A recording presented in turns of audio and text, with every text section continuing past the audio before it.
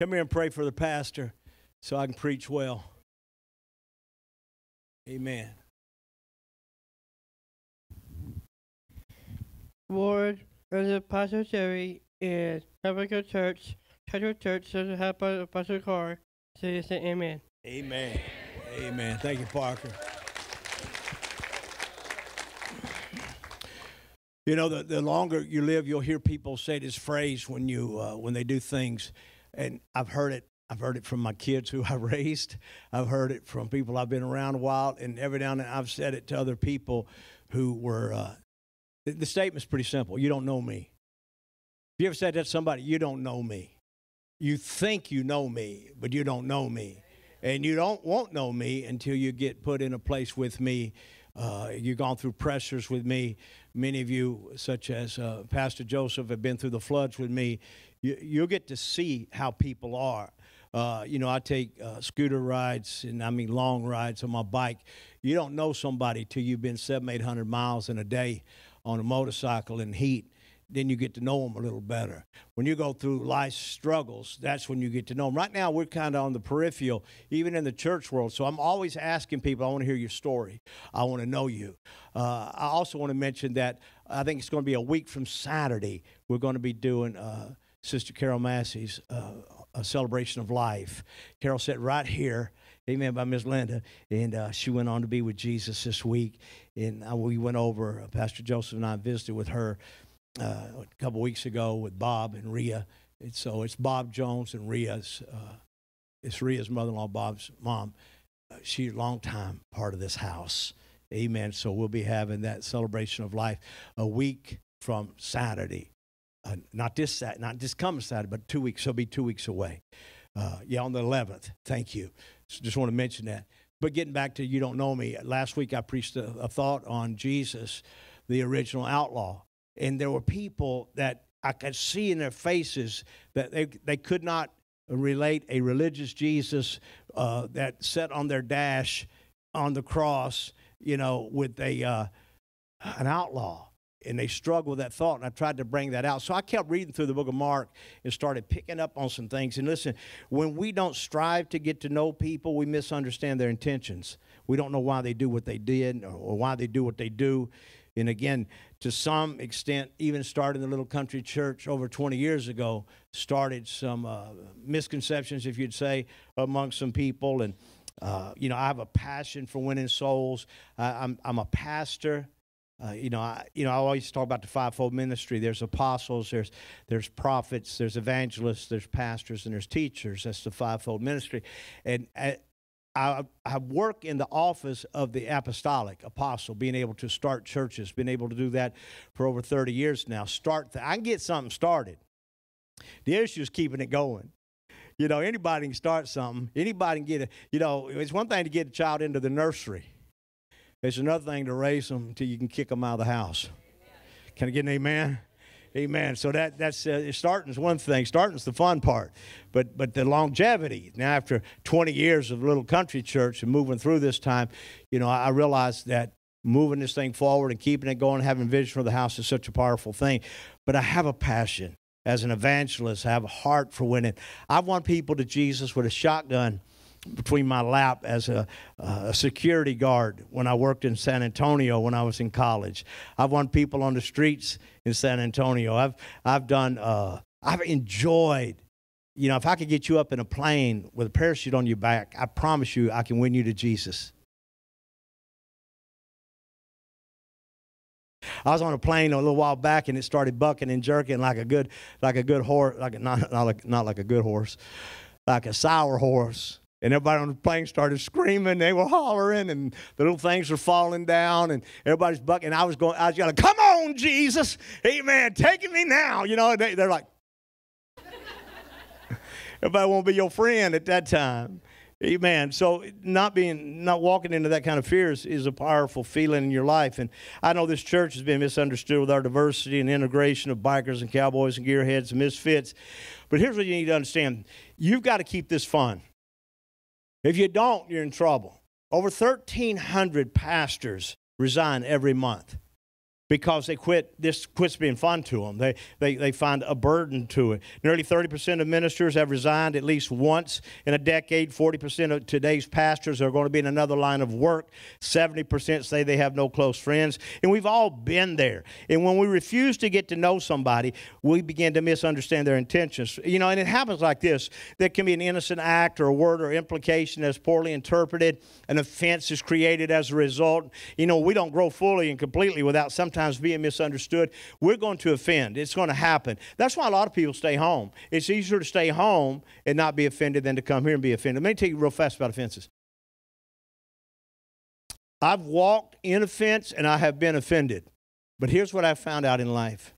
There are times, Kenny, where somebody is holding on literally to life and none of that matters anymore. And this happened in my life over the last few months where friends of mine who we've had some disagreements have come close to near death, and all of a sudden, none of that mattered anymore. What seemed like a big thing became a real small thing. Amen. And what mattered was relationship. Can I get an amen? Th- those type of connections. And, and as I walked through it, I realized Joseph when you look in the, in the Old Testament, his confrontation with his brothers over a coat of many colors, a coat of favor, if you would. Uh, you know, he had a dream and they didn't understand it. He, he was sold as a slave to Potiphar, oversaw his home. He ran, he ran from his wife. He left his coat. He spent the next two years at an all male camp called prison, all because of an act poorly interpreted. David had a confrontation, King David, before he was king as a young teenager. He had a confrontation with King Saul. He killed a Goliath. He soothed Saul with a harp. Saul heard people sing David's praises.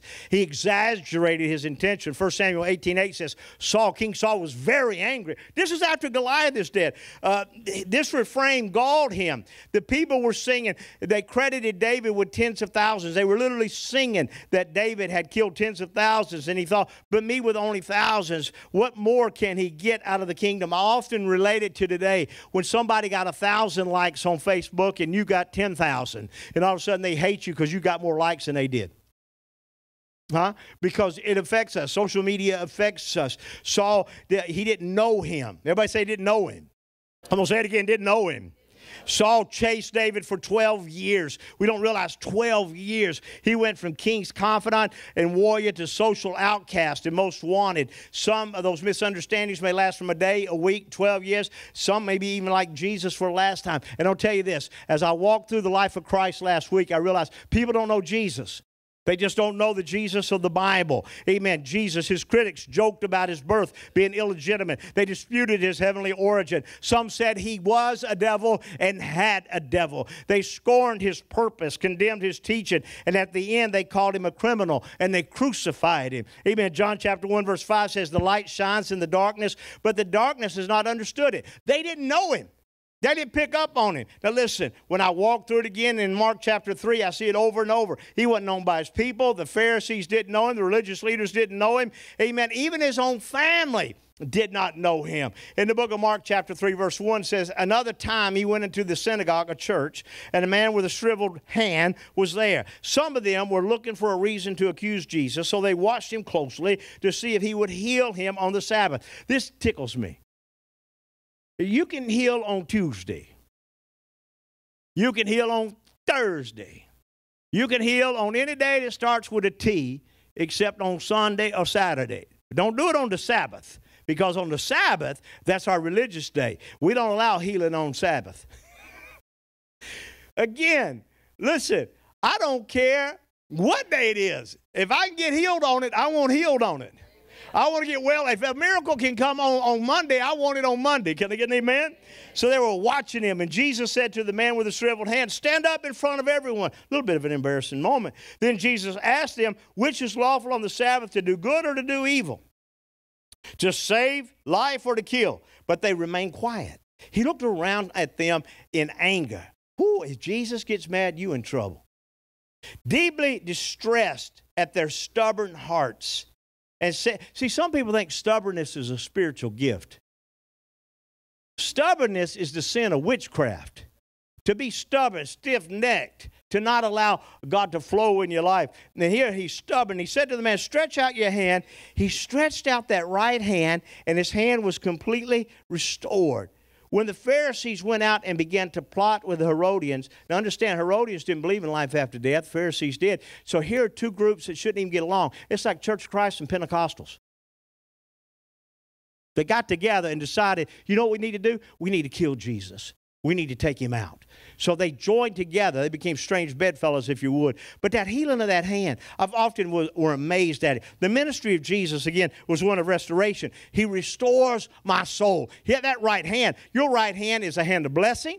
When you shake hands, and Johnston, I noticed you were left handed. I know it was uh, uh, a disability. He picked up one of my guns and he couldn't even hold it right, Tommy. He, he was looking out of the wrong side of it. Uh, but, uh, but that right hand, when you shake hands, it's almost always the right hand.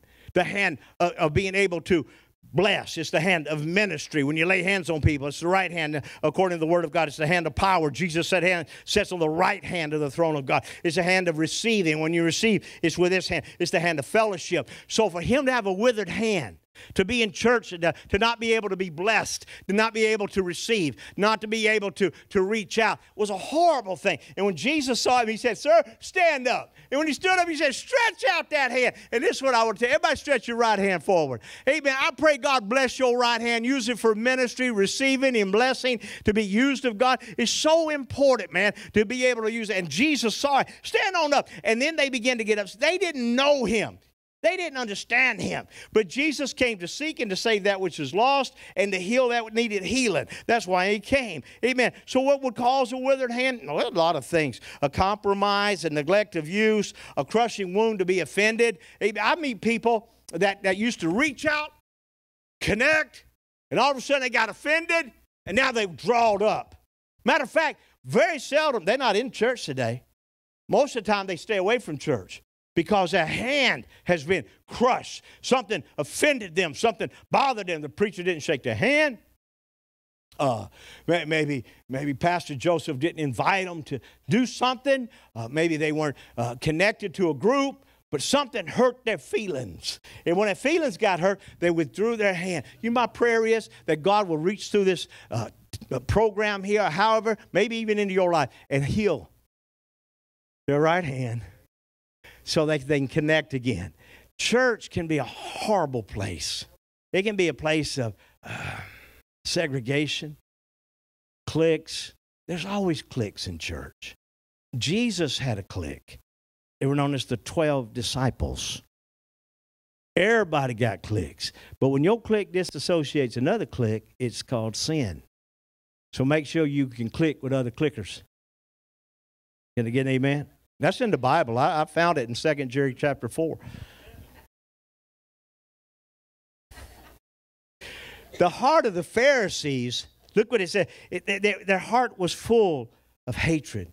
Uh, it eclipsed their understanding. Hate will take away your understanding. I'm watching our nation, the divided nation of America. We're not the United States of America we're divided states of America. And hate has eclipsed. People are thinking the stupidest things. Back home, we'd say idiots.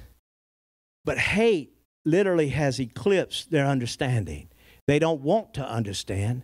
They don't even, it's not even an argument to have with. They don't want to hear your side. They don't want to know your Jesus. And so hatred began to eclipse their understanding, and they sought for a way to kill him. He was not known by his own people. They didn't know him. Amen. You don't know me. That's what Jesus could have said. Mark chapter 3, we'll just keep moving on down. Verse 20. Then Jesus entered a house, and again a crowd gathered so much that he and his disciples were not even able to eat. When his family heard about this, who's his family? His brothers, his sister, and, and uh, his mother. When they heard about this, they went to take charge of Jesus, for they said he is out of his mind. He's 33 years old, and his mama wants to take charge of him. Amen. Go out and tell him how he's going to run his life, what he's going to do for his ministry. Amen. A large crowd gathered, which usually means there was no time to eat. Last week, I didn't eat till after Muscle Car Sunday, till later on that night. It happens every time we have a big event. I know what Jesus meant when he said, I have food you know not of. because there's something about connecting with people that's far greater than just eating. I just want to be with them. I just want to hang out with them. I want to see how they do it. And Jesus understood that. And all of a sudden, his family went out and they heard, and it says right here, verse 21, when his family heard about this, when they heard about what? What was it they heard about? That Jesus had quit his day job as a carpenter and got 12 men following after him? On top of that, one is a tax collector, some are Roman haters, uh, one has a reputation as a thief, and the rest are smelly fishermen. This is what's hanging out with my boy. We're all concerned about who, who hangs out with our kids. Amen. Is this who's hanging out with my boy? You know, he, he, he's done made the Pharisees fighting mad. You can't do that with religion. Hey, and look how skinny he's got. I mean, he's got he's gotten real thin because he won't eat because all the people pressing around him. So they went to take charge over him. They didn't know him. They didn't understand his calling and why he was here. Amen. He's out of his mind. Amen. Now the hometown crowd has mistaken his passion for the lost as insanity. Amen. They didn't understand he came to seek and to save the lost. What's next? Not known by the professors of the law. They actually sent an email up to the headquarters in Jerusalem and said, There's this guy walking on water healing lepers. Uh, he, t- he took a man who, who was dropped through a roof and told him to take up his bed and walk. And just lately, he had a guy with a, with a, with a messed up right arm and told him to stretch it forth, and now the man is healed. So, verse 22, chapter 3 says, And the teachers of the law who came down from Jerusalem said, Let me say this to you teachers of the law. Do you have any idea how many teachers in Christian colleges who have no relationship with Jesus? All of our colleges on the East Coast were started as Christian colleges, and most of those professors don't know Jesus. They ain't got no idea who he is. They teach the Bible, they can teach history, but they have no relationship with him. They don't know him. Amen. They've never met him. The same with these guys. These teachers who came down from Jerusalem said he's possessed by Beelzebub. You know who Beelzebub is? Let me tell you who Beelzebub, Beelzebub is. Beelzebub is another name for Satan. Beelzebub means Lord of the Flies. Lord of the Flies. Not just any fly. I bought my wife a, uh, a gun for Christmas. It's her favorite gun. It shoots salt. Mm-hmm. You cock that thing and you see a fly and you shoot that fly with it.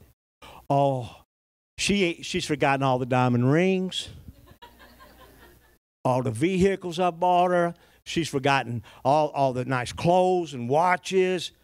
The only thing she remembers that's been the greatest gift, sir, do yourself a favor, buy your wife a gun. Get her one of them salt guns. Because ain't nothing like shooting, sneaking up on a fly and shooting that thing with salt and watching it tumble and die. Some, something uh, morbid about it. Beelzebub is them great big green flies that fly over cow dungs. You know what I'm talking about? Big green ugly flies eating feces. That's them green flies. So when the Bible calls Satan Beelzebub, Lord of the Flies, I love that name for him. I think it's a great name. He just hangs out with the dung.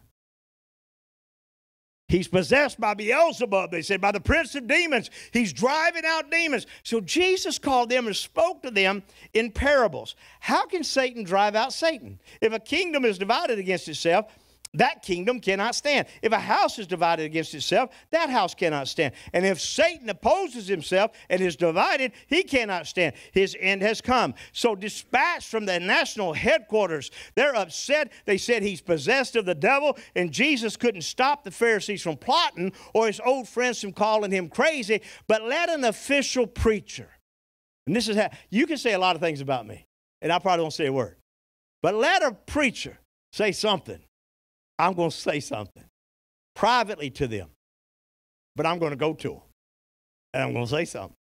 Amen. I've had to deal with this before. See, you know why? Because you don't know me.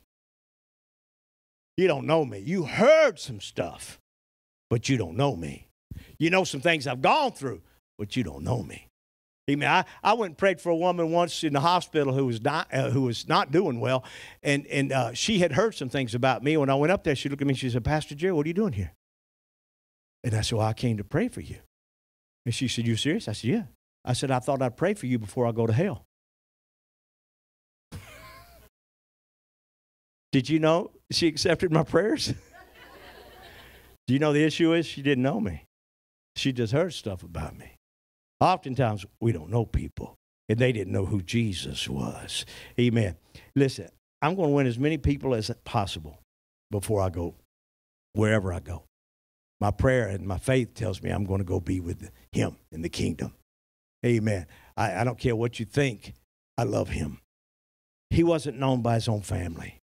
When I got saved, my family didn't know me. It was like, here's why. Watch this. Because I got born again. When you get born again, they don't recognize the new. And all of a sudden, the new is not getting drunk no more. The new ain't smoking weed no more. The new ain't cussing as much as they once did. Takes a little while to get rid of all that, don't it, Charlie? Uh, it, it, uh, it, when you get born again, people don't recognize you. Amen. They, don't understand why you go to church, why you got people you call brother and sister. Amen. As a matter of fact, I'm your mama, that's your brother, that your sister. That's one you. But no, no, no. Now I got all these brothers and sisters. Amen. You calling her sister? You used to date her. That's weird. I know. I know it is. But but now we brother and sister. Verse 31 says, "And Jesus' mother and brothers arrived, standing outside. They sent someone to call him in." They, they sent somebody after Jesus. A crowd was sitting around him and they told him, Hey, your mother and brothers are outside looking for you. Jesus said, Who are my mother and my brothers? He asked. Then he looked at those seated in a circle around him and said, Here are my mother and my brothers. Whoever does God's will is my brother, my sister, and my mother. See, some believe, come on up, JoJo. Amen. Some believe the reason Jesus' family stood outside and called for him was because they were convinced he had lost his mind. He's gone crazy. I don't know him. Come home with us, Jesus, and you know we'll try to get your old job back if you'll come with us. And Jesus used this moment as an opportunity to assert his kinship with all who do the will of God. He said this who are my mother and my brothers? Then he looked at those seated in a circle around him and said, Here are my mother and brothers. He used this moment to connect people. I've often said, and you know it's been true, that blood is thicker than water, but spirit is thicker than blood. Oh, I said blood is thicker than water, but spirit is thicker than blood. When I got born again, I got a new family. And I love my mom. I love my brother. I'm, I'm going home next Sunday after church. I'm taking a, I'm going to get on my Harley and go to Alabama and visit with them. Amen. My mom, I just need to see my mama. I need just a little, I can't wait till the holidays uh, as she gets older. And so it's important to go. But when I got born again, this became my family. Amen. Johnson, come on up here. I don't know where JoJo's hiding. You can do this, can't you? Okay. Just checking. I put people on the spot at times and never know. But watch. Who my brothers and my sisters? Listen, if you're in this house and you're born again and you love Jesus, the one next to you is your brother and your sister. And it's not wrong to say that you married your sister.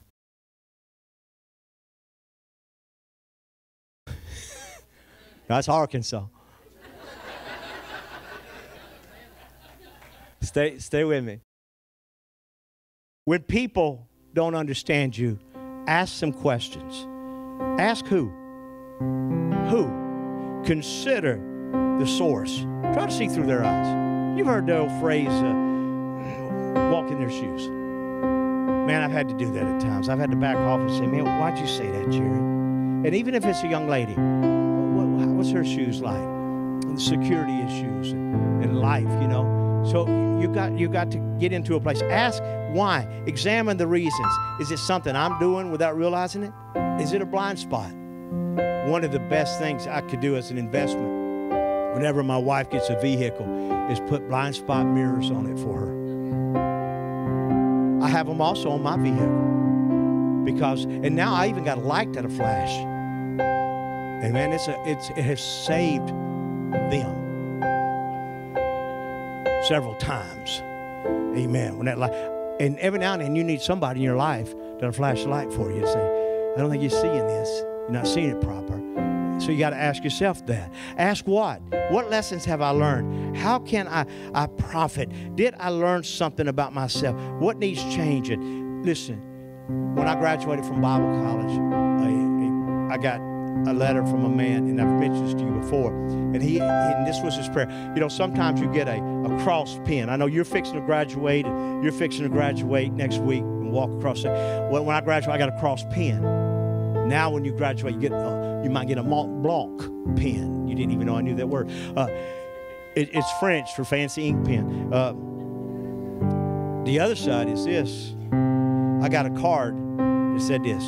May God give you sermons beaten out of the anvil of experience. The last thing I wanted was sermons beaten out of the anvil of experience. Underneath that, they wrote, May every adverse circumstance yield to you a good result. May every adverse circumstance, yeah, you ought to write it down. May every adverse circumstance yield to you a good result.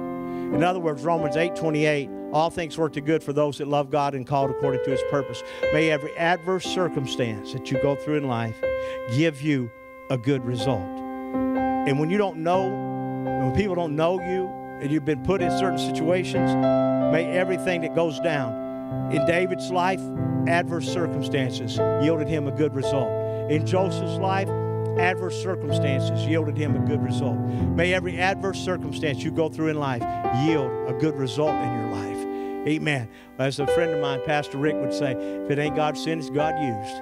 Amen. If God didn't send it, He can show enough use it. Can I get an amen? Amen. When you give the situation over to God and say, God, I'm defenseless, they don't know me. They just said things about me. They, they, did, they don't know. You feel defenseless. I, I'm right, but they'll never believe me. You take over, God. He will perform the most incredible feats as He glorifies His name in your life. Amen. And we grow through this. David said in Psalm 140, and I begin to close here Keep me, O Lord, from the hands of the wicked. Protect me from the men of violence who plan to trip my feet. Proud men have hidden a snare for me. They have spread out the cords of their net and have set a trap for me along my path, Selah, which means pause and think about it. Oh Lord, I say to you, you are my God. Hear, O Lord, my cry for mercy. O sovereign Lord, my strong deliverer, who shields my head in the day of battle. Now, I started finishing the sermon up on Wednesday, Thursday. By yesterday, it hit me. God, I want to know you. I just want to know you.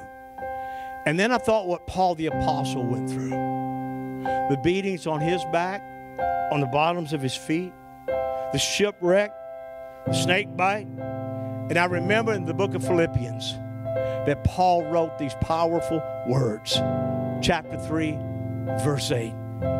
What is more, I consider everything a loss because of the surpassing worth of knowing Jesus, my Lord, for whose sake I have lost all things. I've lost and I've gained. I've lost and I've gained. And when I read, when Paul writes these words, I started feeling real insignificant. And I said to myself, God, 40 years I've followed you. 40 years I've served you. I've served you through floods. I've, I've served you through difficulties. I've served you through the loss of family and friends. I've served you. And yet I don't feel like I know you. I'm just learning to know you. I'm just picking up things about you. And Paul said, the surpa- go back, go back, back, back. I lost because the surpassing worth of knowing Christ, knowing Christ Jesus, my Lord, for whose sake I have lost all things. I consider them garbage that I may gain Christ. Whenever you get to a place in your life where you consider what you've got is garbage, is rubbish, what really matters in life is knowing Him. Then Paul walks on and says, eh, eh, he, he said, and be found in Him, not having a righteousness of my own that comes from the law if you want to be righteous, hang out with the law. But that which is through faith in Christ, the righteousness that comes from God on the basis of faith. And then verse 10 I want to know Christ. Yes, I, I want to know Christ. I want to know the power of his resurrection and participation in his sufferings, becoming like him in his death. And you may not ever be like Paul the Apostle, and maybe I'll never be like Paul the Apostle, but those two things right there are the things that help me get to know him. First, the, the power of his resurrection. The scripture said, It's Christ in me, the hope of glory. Amen. It's the same spirit that raised Jesus from the dead, that resurrected him, dwell in you. It'll quicken your mortal body. When you know that moment, then you start knowing Christ. When your body's been quickened, when you get up in the morning and say, I don't think I can make another day. God, why? Why should I deal with life? It just keeps throwing stuff on me and on me, and all of a sudden the Spirit of God quickens your body and you feel a resurrection power. You got purpose to press through on Monday and a Tuesday and move through the week, and people are cheering you on. You don't even know it. They may not know you yet, but the power of the resurrection of Christ will change your life. And then let's talk about his sufferings. When you lose stuff, when you lose friends, when you lose family, and you endure it, and you keep, you understand how many friends Paul lost as he moved through his own life? And I stand on the on the precipice of understanding that I may lose. I called a pastor this morning. I ain't talked to him in a long time. I just wanted him to know, no matter what we've gone through in this life, I love you. And we've had relationship, and all this big stuff is now little to me. What matters the most is that we become more like Jesus. I want to know him. I want our teenagers to know him. I want our kids to know him. I, am glad you know this book. I'm glad you can quote this book. But this book wants to be in you so bad. Amen. Thy word have I hid in my heart. To take this word and get to know him. And as you walk through resurrection times, God resurrected Cameron three weeks ago. I walk, we walked in that hospital room, and that young man was out. And we didn't know if he was going to make it. And Cameron, and I looked at you and I said, I bet you're dreaming of four by fours and pretty women. And that boy started grinning like a possum. Amen. He knows I'm talking about him right now. I've seen God resurrect. I understand his resurrection. When you get born again, not everybody knows you. They don't understand you. Give them some time. Connect with them. They may never know you. They may never get to know you. But with your heads bowed and your eyes closed, there's a presence in this house this morning. I don't say this every Sunday, but I'm going to say it this morning.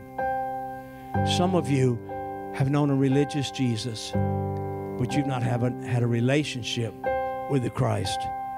He wants to come into your life. He wants to walk with you and talk with you.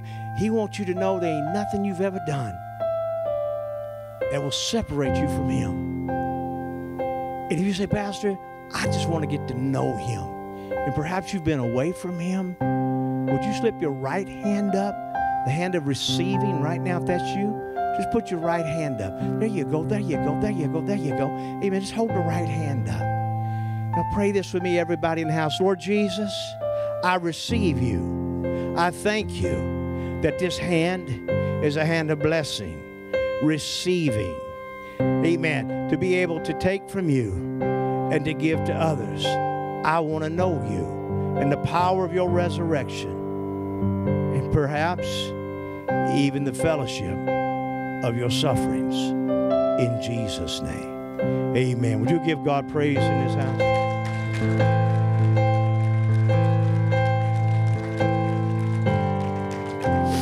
You just, you just think you know me. That's how you, you know. You just think you know Jesus. Every time I think I know Him, He does something far more wonderful to me. He shocks me. Amen. He amazes me. I'm blown away by Him. Amen. Yes, he's the original outlaw. Yes, he's the savior of misfits. He's the Lord of the leftovers. Amen. I'm glad to be a leftover. Glory to God. Amen. If our servant leaders would come up, preacher went a little long again.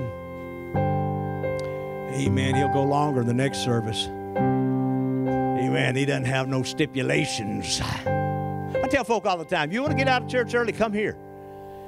Man, because you know we we bound to get out of here eventually. But we know we did. We moved the other service up to 11 o'clock. It still says 10:30, 10:45, but they don't hush up.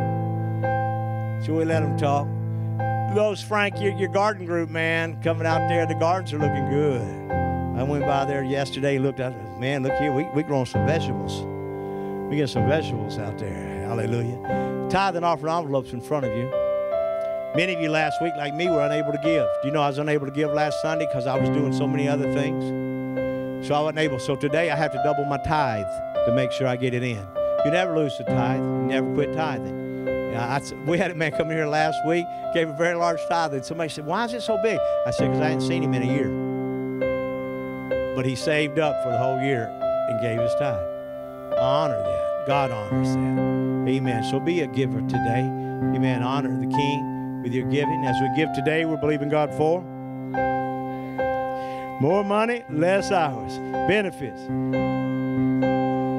gifts and surprises, finding money, bills paid off, settlements, inheritance, rebates and returns, debts demolished, royalties received, favor, success to the kingdom. Y'all give Pastor Joseph a hand.